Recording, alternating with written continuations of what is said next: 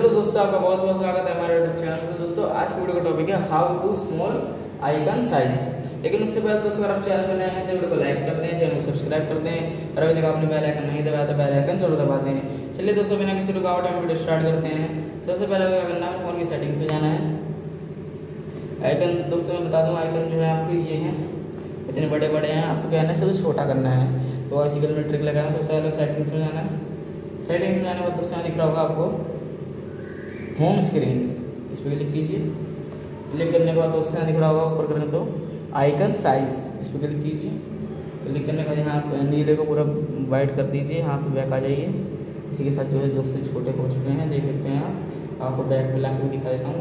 देख सकते हैं आप छोटे हो गए हैं। इसी के साथ आपको वीडियो पसंद आई तो वीडियो लाइक करते हैं चैनल सब्सक्राइब करते हैं। और तक आपने बेल नहीं दबा तो बेल ज़रूर दबा दें। मिलते हैं इसकी मेरे नेक्स्ट वीडियो थैंक यू